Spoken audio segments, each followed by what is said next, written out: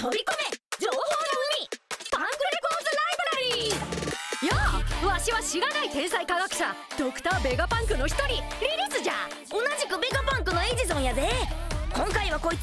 カク所属はウォーターセブンの造船会社ガレーラカンパニーの一番ドック大工職職長ちゅうのは仮の姿実は世界政府の諜報機関 CP9 の一員やったんや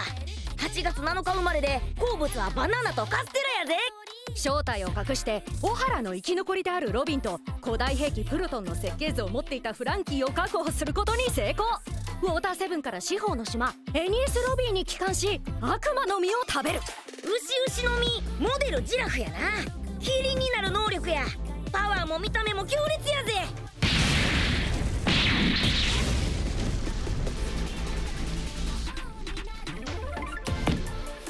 知覚なのに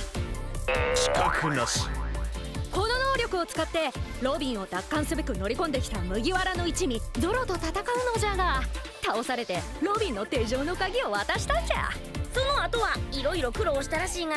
今は CP0 のメンバーになっとるらしいな。麦わらの一味とは浅からぬ因縁のある CP0 もう一波乱があるかもしれんぜ。今日のコーナーはここまで。見たからには研究費のカンパよろしくな。また次回